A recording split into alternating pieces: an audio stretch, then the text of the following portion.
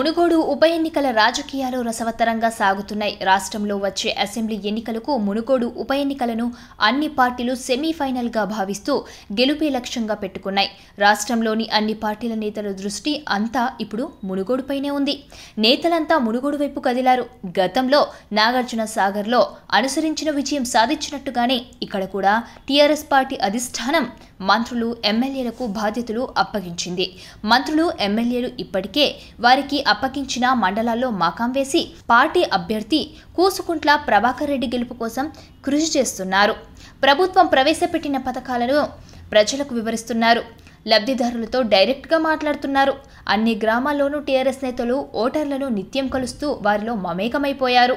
నల్గొండ జిల్లాలో ఫ్లోరసిస్ విముక్తి కోసం కేసీఆర్ చేపట్టిన పనులు రైతు బంధు దళిత బంధు రైతు బీమా ఆసరా పింఛన్లు కేసీఆర్ కిట్స్ మిషన్ భగీరథ ద్వారా ఇంటింటికి నల్లా ద్వారా నీళ్ళు అందిస్తున్న విధానాన్ని వివరిస్తున్నారు. సంస్థాన్ నారాయణపూర్ మర్రిగూడ నాంపల్లి మండలాల్లోని తాండాల్లో తిరుగుతూ టీఆర్ఎస్ అధికారంలోకి వచ్చినాక సీఎం కేసీఆర్ తాండాలను గ్రామ పంచాయతీలుగా మార్చాడాన్ని హైదరాబాద్ గిరిజనుల కోసం సేవాలాల్ భవన నిర్మాణం గిరిజన రిజర్వేషన్లను నాలుగు శాతం పెంచాడని తెలియజేస్తున్నారు. తమ గ్రామాలకు వచ్చిన టీఆర్ఎస్ నేతలకు గ్రామస్తులు హారతి పట్టి స్వాగతం పలుకుతున్నారు. ఉప ఎన్నిక రావడానికి గల కారణాలను విడమర్చి చెబుతున్నారు. టీఆర్ఎస్ నేతలకు ప్రజల నుంచి కూడా మంచి స్పందన లభిస్తోంది. ప్రభుత్వం నుంచి తాము పొందుతోన్న సహాయాన్ని మరవలేమని కేసీఆర్ తమకు పెద్ద కొడుకుగా వ్యవహరిస్తున్నారని లబ్ధిదారులు చెబుతున్నారు. ప్రజల నుంచి పెద్ద ఎత్తున మద్దతు లభిస్తూ ఉండటంతో టీఆర్ఎస్ నేతలు ఉత్సాహంతో ఉన్నారు.